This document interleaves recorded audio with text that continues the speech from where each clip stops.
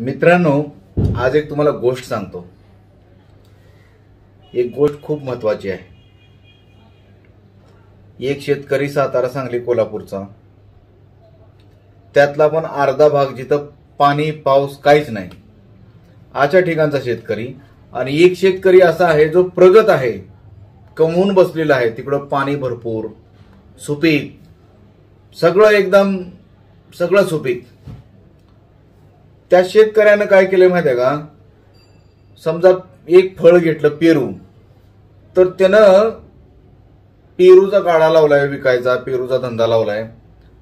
पूर्ण पिकलाय पेरू. पाक पार पिकून रया जायची वेळ आली त्याला किड पडायला लागल्यात असा पेरू त्याचा रेट आहे दोन रुपये.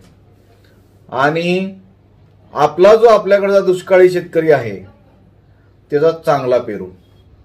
हिरवा गार पेरू आहे पौष्टिक पेरू आहे. त्याची किंमत आहे एक रुपये. त्याचा किंमत तो आपला शेतकरी सांगतोय एक रुपये. तर अडचण अशी आहे की तो पिकलेला पेरू पिवळा दिसतोय पिवळा धमक दिसतोय पण तो शरीरात आजार निर्माण करतोय. तो शरीराची वाट लावतोय. तो शरीरात कॅन्सर निर्माण करतो शरीरात भरपूर कुठले आजार तयार करतो. आजाराचं काही नाव नसतंय. कुठला आजार कधी होईल त्याचंही नाव नसतंय.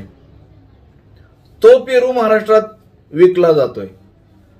पण जो आमचा दुष्काळी टप्प्यातला पेरू आहे जो हिरवा गार आहे चविष्ट आहे शरीराला पौष्टिक आहे हा पेरू महाराष्ट्रात विकला गे जात नाही. ही ही दुर्दशा आणि महाराष्ट्रातलं राजकारण याचा काही एक संबंध नाही. उगीच कुणीतरी पुन्हा म्हणणार तुम्ही या अमक्या राजकारण्याबद्दल बोलला तमक्या राजकारण्याबद्दल बोलला. आता पिकलेला सडलेला किडलेला बाबानो माफ करा मी कुठल्याही राजकारण्याचा आणि या व्हिडिओचा काहीही संबंध नाही.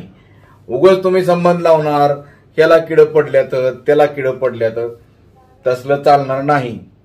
नोट खाली लिहून ठेवतो आणि टीप आधी सांगतो. जर याचा कशाची कुणाशी चुकूनही संबंध आला तर तो यदा कदाचितच ओके?